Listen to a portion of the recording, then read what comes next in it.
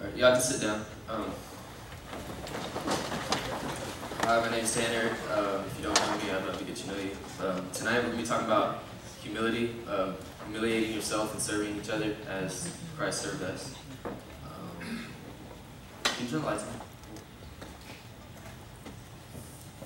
on? Um, we're going to start off in uh, John chapter 13.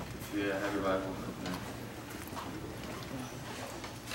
there. And this passage, Christ is washing the disciples' feet. He's serving them. He's putting his, he's putting himself lower than any other position he could be at in order to um, serve his disciples and those that he been called to serve. Um, John 13, verse 1. Now before the feast of the Passover, when Jesus knew that his hour had come to depart out of this world to the Father, having loved his own who were in the world, he loved them to the end.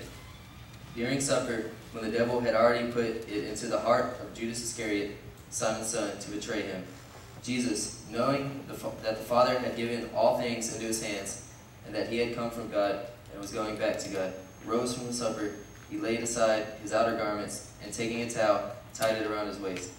Then he poured water into a basin and began to wash the disciples' feet, and to wipe them with the towel that was wrapped around him. He came to Simon Peter, who said to him, Lord, do you wash my feet? Jesus answered him, What am I doing, or what I am doing to you, um, do not understand now, but afterward you will understand. Peter said to him, You shall never wash my feet. Jesus answered him, If I do not wash you, you have no share with me. Simon Peter said to him, Lord, not my feet only, but also my hands and my head. Jesus said to him, The one who has bathed does not need to wash except for his feet, but is completely clean. And you are clean. Um, but not every one of you. For he knew who was to betray him. That was why he said, Not all of you are clean. When he had washed their feet and put on his outer garment and resumed his place, he said to them, Do you understand what I have done to you? You call me teacher and Lord, and you are right, for I am so. If I then, your Lord and teacher, have washed your feet, you also ought to wash one another's feet. For I have given you an example that you also should do, just as I have done to you. Truly, truly, I say to you, a servant is not greater than his master, nor is a messenger greater than the one who sent him. In that passage, um, Jesus, this was right before he was about to die, dying the next day, um, being hung on the cross. He wanted to make sure that he that he showed that we were supposed to serve each other. Um, this is what, what his last message was to us: is that we should serve one another, and we should we should be there for each other, and we should serve each other in His name. Um, serve in the mindset of humility, putting ourselves lower than any other place we could be in order to serve, um, in order to serve our peers and brothers in Christ. And um, like back then, their feet they wore sandals and they didn't have all this luxury cleaning stuff that we have today. Um, they had dirty feet, nasty feet. It was terrible. Um, they walked on rocks and feet were all cut up. And tonight, as we're washing each other's feet, I mean, don't let that get in the way, being nasty because you have no idea what it was like. Um, like in our culture, we have pretty much cleanest feet than any other nation in the world. Um, we have all this hygiene stuff and um, keep ourselves clean and smelling good and stuff, but that's not what they had. Christ didn't let that bother him either. He was uh, he put that aside, he put all things aside in order to serve his, his brothers in Christ. Um, and also, Judas, in that time, um, says that Judas was about to betray him. And Christ knew that he was going to betray him. He knew that he was going to turn him over so that he'd be hung on the cross.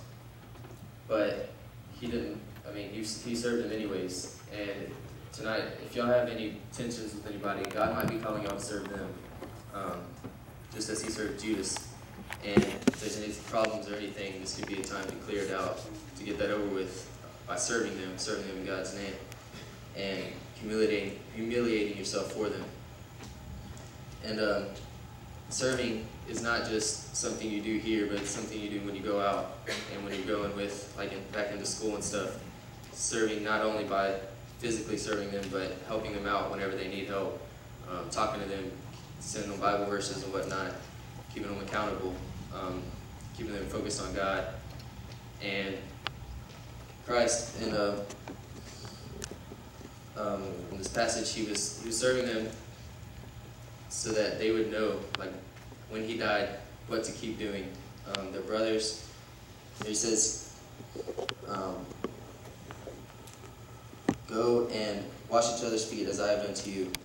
Um, and then, truly, truly, I say to you, a servant is not greater than his master, nor is a messenger greater than the one who sent him. We are not greater than him, but we can still do what he did to us. Um, still serving, still serving for him, and um, his example for us should be followed by us because that's what he told us to do. And as brothers and sisters in Christ, we're supposed to serve each other. We're supposed to be there for each other. And um, back at camp, David was preaching over this to be serving, to be servants of, of each other. Um, the last day of camp, he's talking about this exact passage.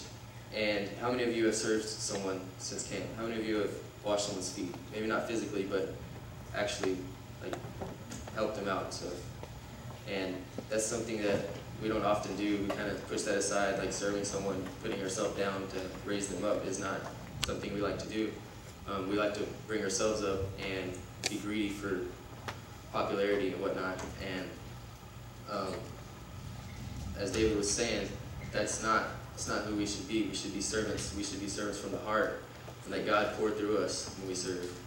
And it doesn't matter what attention we're getting. It could be negative attention, it could be positive attention, but that shouldn't be in your mind. You should be serving for God and not for yourself.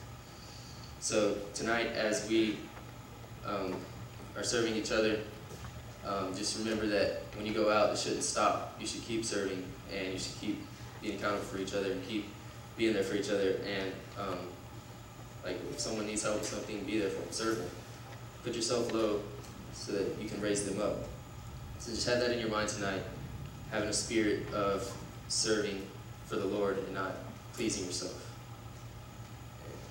As they come back up, just be praying, um, worshiping, and if God calls you to serve someone, whenever after Connor speaks and y'all are washing each other's feet, go straight to that person. In this room. If not, you can send them a text, let them know that you're going to be there for them. Um, but yeah, just pray and ask God who He wants you to serve.